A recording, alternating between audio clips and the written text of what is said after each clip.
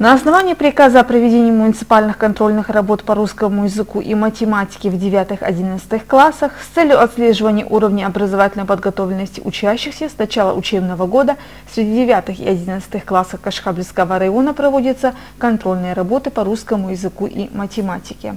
Подобные мероприятия направлены на подготовку выпускных классов к государственной итоговой аттестации. 20 декабря на базе средней школы номер 1 Аула Кашхабль учащиеся 11 и 9 классов проходили подобную аттестацию.